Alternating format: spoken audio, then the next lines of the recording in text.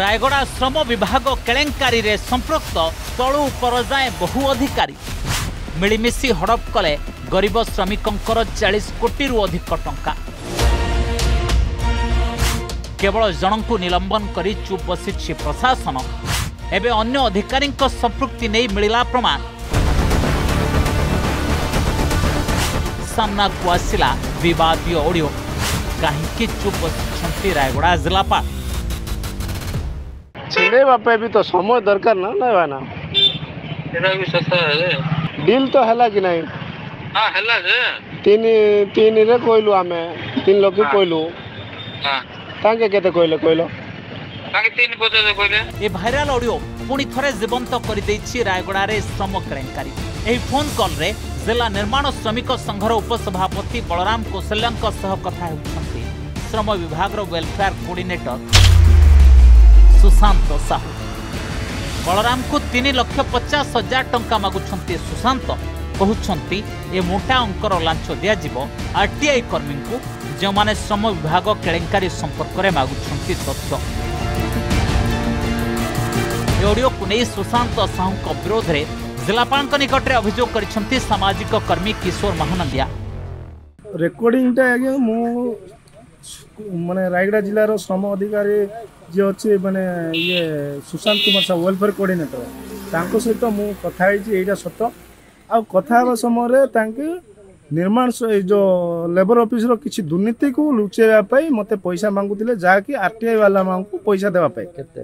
ତିନି ଲକ୍ଷ ପଚାଶ ହଜାର ଟଙ୍କା ଦେଲେ ତାଙ୍କେ ଚୁପଚାପ ରହିଯିବେ ବୋଲିକି ମାଗିଥିଲେ। କିନ୍ତୁ ଆର୍ ଟି ଆଇ ବାଲାକୁ ଆମେ କୌଣସି ମୁହୂର୍ତ୍ତେ ବି ପଇସା ଦେଇନୁ।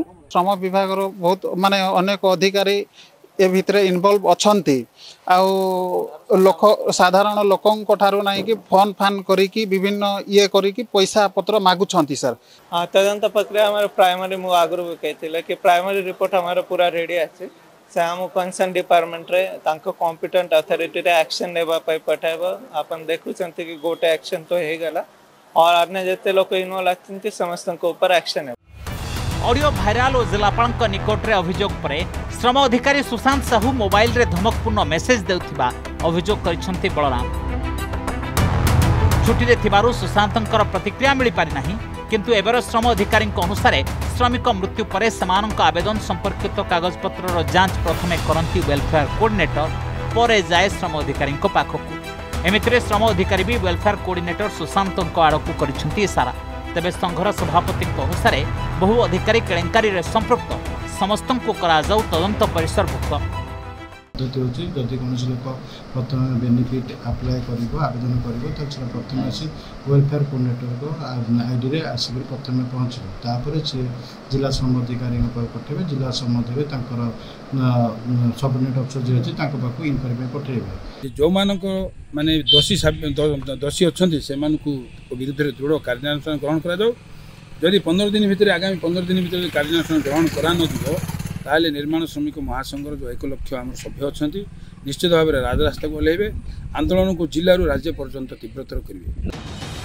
ରାୟଗଡ଼ା ଶ୍ରମ ବିଭାଗରେ ହୋଇଥିବା ବଡ଼ କେଳେଙ୍କାରୀ ପ୍ରଥମେ ସାମ୍ନାକୁ ଆଣିଥିଲା ଅର୍ଗସ।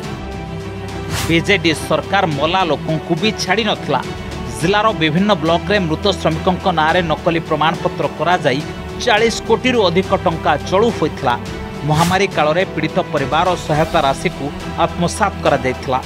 ଅଭିଯୋଗ ପରେ ଗାଁ ଗାଁ ବୁଲି ତଦନ୍ତ କରିଥିଲା ରାଜ୍ୟ ଅତିରିକ୍ତ ଶ୍ରମ ଆୟୁକ୍ତ ଟିମ୍ କେବଳ ଅଫିସର ନୁହେଁ ବିଜେଡି ନେତା ଓ ମନ୍ତ୍ରୀମାନଙ୍କ ସମ୍ପୃକ୍ତି ବିନା ସମ୍ଭବ ହୋଇନଥାନ୍ତା ଏତେ ବଡ଼ ଦୁର୍ନୀତି ତଦନ୍ତ କଲେ ସାମ୍ନାକୁ ଆସିବ ପୂର୍ବତନ ଶ୍ରମମନ୍ତ୍ରୀ ସୁଶାନ୍ତ ସିଂ ଓ ଶାରଦା ନାୟକଙ୍କ ସମ୍ପୃକ୍ତି। ପୁଣି ରାଜ୍ୟରେ ଟି ବା ତମିଲ ଅଫିସରଙ୍କ କଣ୍ଟ୍ରୋଲରେ ଥିଲା ସବୁକିଛି ଏଣୁ ଏସବୁର ତଦନ୍ତ ହେବାକୁ ଉଠୁଛି ଦାବି। ରାୟଗଡ଼ାରୁ ମୃତ୍ୟୁଞ୍ଜୟ ନନ୍ଦଙ୍କ ରିପୋର୍ଟ ଅର୍ଗସ୍ ନ୍ୟୁଜ୍।